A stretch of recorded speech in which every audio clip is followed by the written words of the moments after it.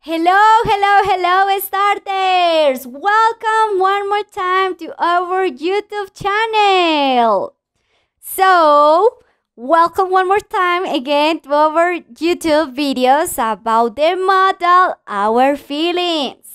Today, let's learn and practice the vocabulary of the lesson number two or the week number two. So, let's start. The first word is motivated. Motivated. I would say it again. Motivated. Okay. The second word is tired. Tired. I would say it one more time. Tired. Tired. The next word is sick. Sick. Again? Okay. Sick. And the last one for today in the vocabulary is confused. Confused.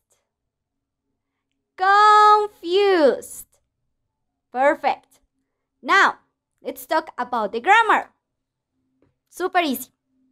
How are you? How are you? Again. How are you? For example, I'm motivated, or I'm tired, or I'm confused. There are some examples, as always in our videos. Now, the time to talk about the additional task for the lesson 2.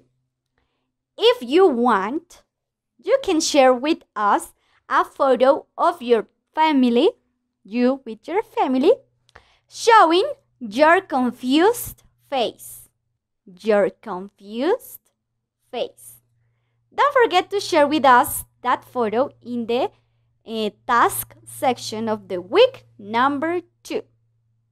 Of course, don't forget to subscribe to our YouTube channel, let your like here in this video, and turn on all the notifications because we have a lot of content for you. So I hope to see you. Please keep practicing and see you next time. Bye bye.